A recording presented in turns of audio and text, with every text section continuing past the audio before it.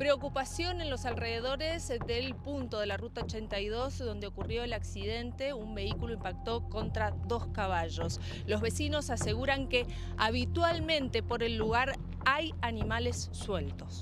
Ya estábamos acostados en casa y escuché cuando los caballos y eran muchos. Y toda la semana estuvieron viniendo las, el caballos y cruzando la ruta. Estas semanas fueron como ocho eh, caballos. Acá los animales andan sueltos todo el tiempo. ¿Por qué? Porque andan buscando comida.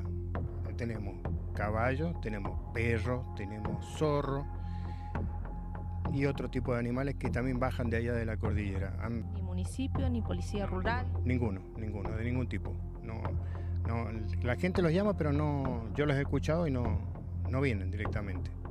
No, yo los conozco porque esos caballos lo habían publicado en un, en un grupo de compriventa que tenemos nosotros los caballos. Y ahí salían los propietarios, el dueño, digamos, que se llamaba así. ¿Estás seguro que son los mismos caballos? Sí, sí, sí, ese potrillo me lo querían cambiar a mí por una montura.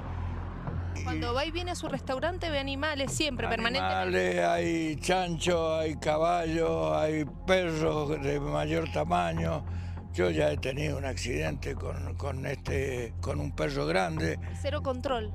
Y no es que control, el animal eh, escapa a tomar agua al río y nosotros muchas veces este, no respetamos la velocidad y no distinguimos, este, no distinguimos un animal mm, de, esta, de esta magnitud. Es increíble ver cómo los animales transitan esta zona rural.